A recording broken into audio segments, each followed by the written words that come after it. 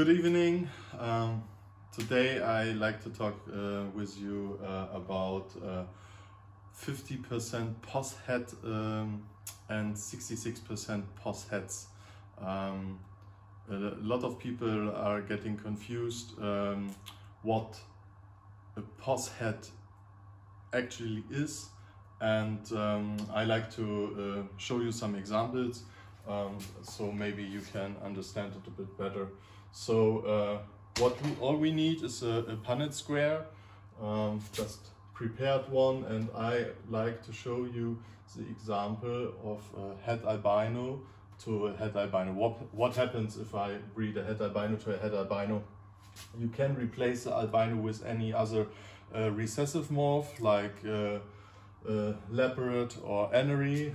Um, so het albino to het albino, this means we have, uh, it's not a visual animal, and the albino is only present as a recessive trait.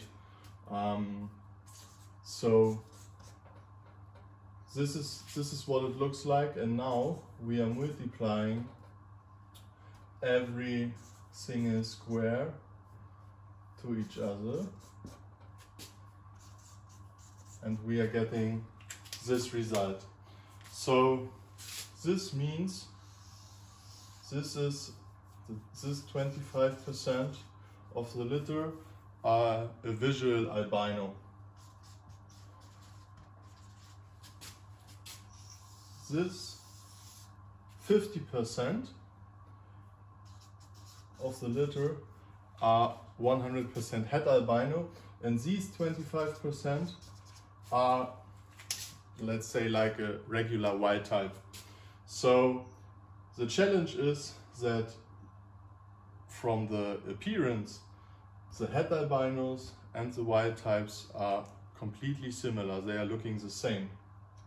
And this is when it comes um, that we call these 75% of the litter 75% are 66% poss het. Because you have the chance two out of three that you grab a het albino. And um, yeah that's that's very uh, very important to understand. So the 66% doesn't mean that you receive like 66% albinos when you combine uh, such animals. It's just the chance that you grab a het albino out of these 75%. Coming to 50% uh, poss hets. So um, if we are breeding a het albino to a wild type, it looks like this.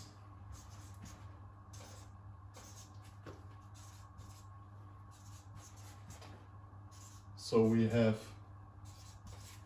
no visual in this litter, 50% are like regular wild types without uh, any uh, hidden genes. And we do have 50%, 100% het albinos.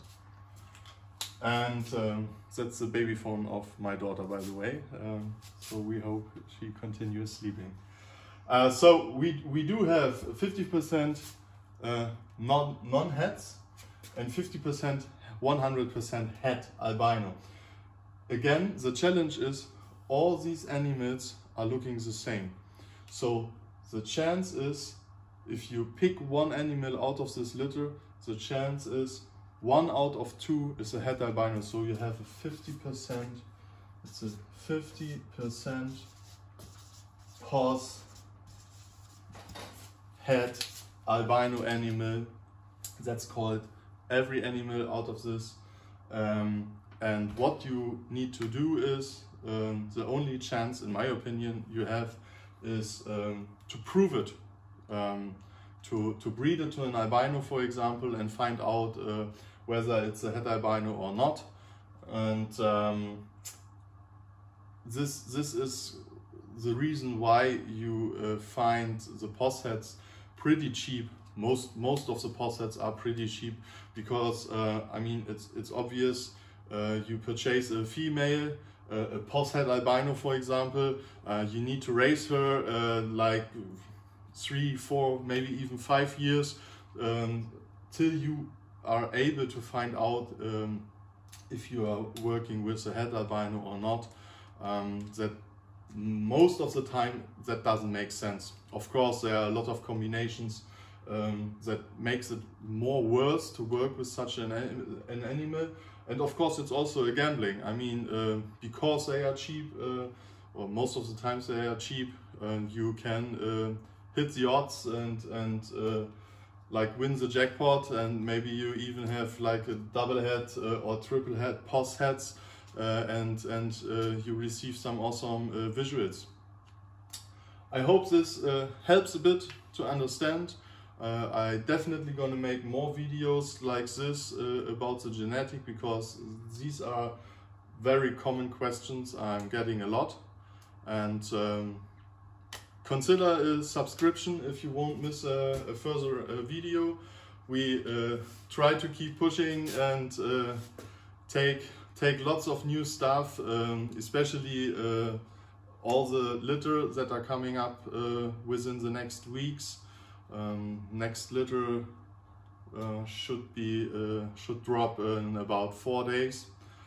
I hope you like this video. Share it with a friend who uh, might uh, benefit from this video as well. And um, enjoy your evening. Talk to you soon. Bye bye.